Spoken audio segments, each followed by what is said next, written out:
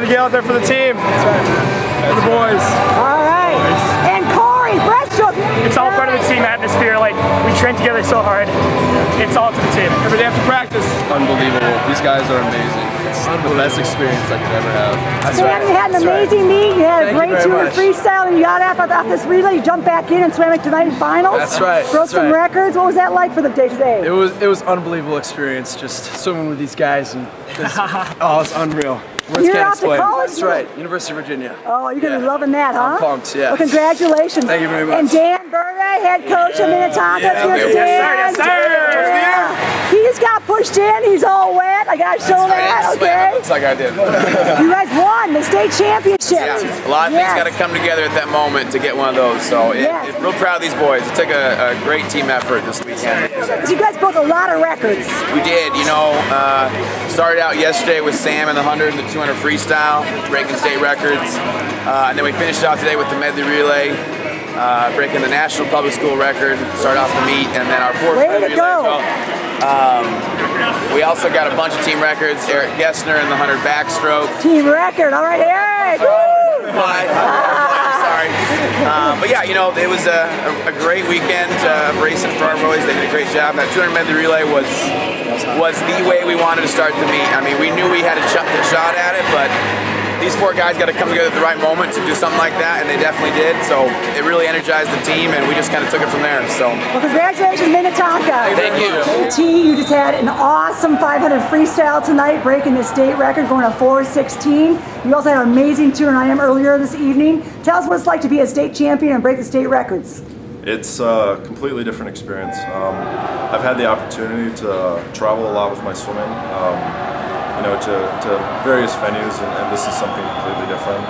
Uh, it, it's kind of cool to have a, a big level meet here at, at a pool I grew up swimming at. So I think it was just icing on the cake to do it here. I hear you're going to college at University of Texas with Yep. Eddie Reese. Yeah, I'm really pumped for that.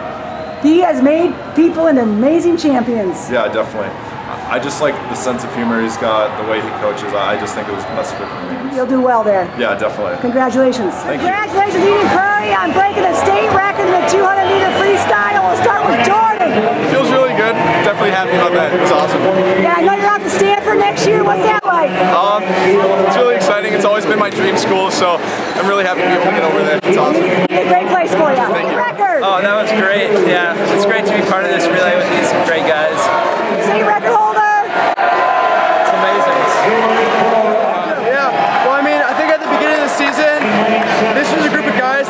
Initially think that we would get state record. Um, and then in prelims when we did it, I was shocked, our team was shocked, uh, and so we were determined to come back and win tonight. Jordan Greenberg, you just had an amazing career as a high school athlete here in Minnesota. Just a lot of excitement, you know. I mean, I made the switch from diving over to swimming my freshman year. I've definitely had a lot of goals, to kind of go fast and be part of the team, really. And yeah, it's great. And obviously- we've been top three in the state for seven years in a row, and you know it's really exciting to be a part of that team. Head coach of uh, Eden Prairie High School, you got second place overall. You, you guys broke the state record in a 54 by 50 relay. How do you feel as a head coach? I am so excited to keep that record at Eden Prairie High School. It was great. We broke it in 2013,